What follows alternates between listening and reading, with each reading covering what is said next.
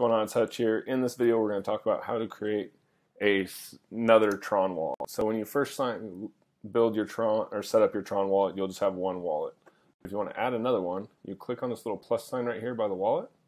You click on create, and we'll name it Tron Wallet 2. Uh, I'm actually going to delete this wallet right after we're done with this video because I'm going to show you all the keywords and everything so that, uh, or key phrase.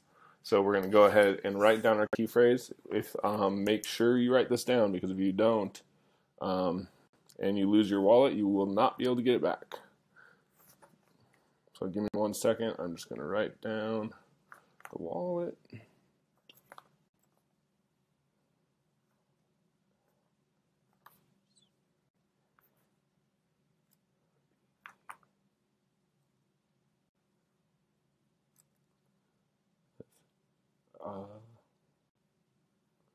Sorry, hold on a second.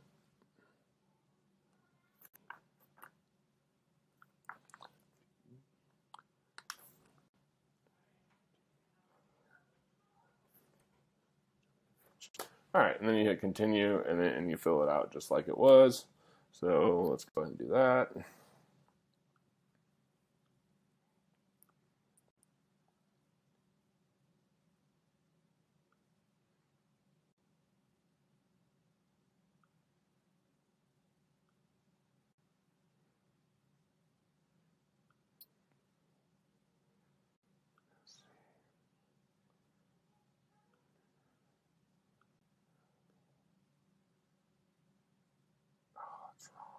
I missed one. That's not to be right. Is there a way to go back?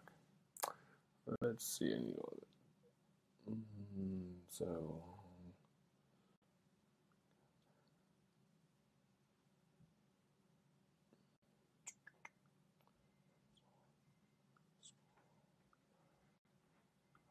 Ah, I forgot this one.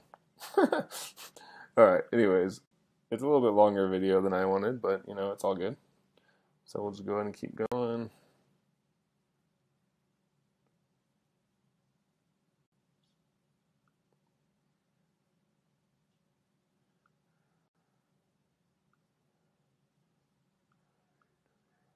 Confirm.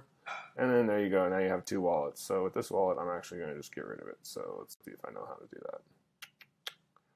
that. Know, I don't. Well, I'm never going to use it. So anyways, and then to change wallets, is the next spot, which, hold on a second. Yeah. So change wallets, you just click on that again and you switch your wallet. And that's it.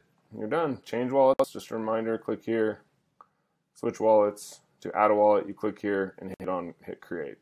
And that's all how you create multiple uh, TronLink wallets. All right.